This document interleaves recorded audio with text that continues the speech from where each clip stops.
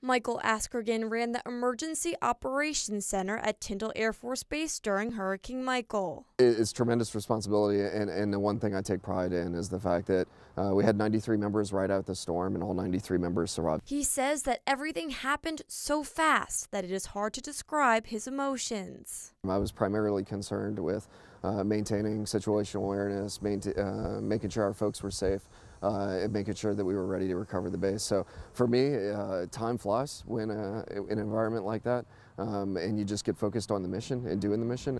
When they came out of the ride out shelter, they knew what was ahead.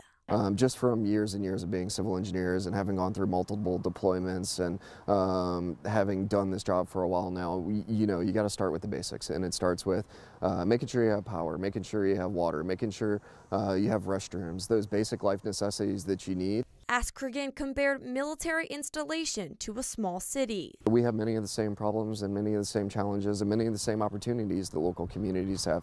He had taken command of the Civil Engineer Squadron 86 days before Hurricane Michael and says he was still adjusting when the storm hit. The storm really changed everything for me. The past year for me has been focused purely on how do we rebuild Tyndall? How do we take the opportunity that's been given to us to build a base of the future, to go forward?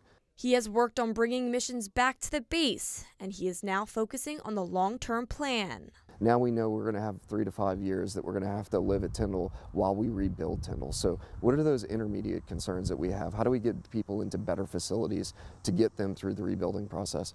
And then after that, now it's becoming the more long term steady state. Askegren says his 275 person squadron rose to the challenge. The Civil Engineering Squadron is a group of men and women that have come together uh, post-storm uh, to do some incredible things. In a, any given year, our engineering flight awards about $30 million in construction. We're on track this year to award over $290 million in construction. He is looking forward to what Tyndall will look like in the future. For News 13, I'm Taylor Rambo, Panhandle Strong.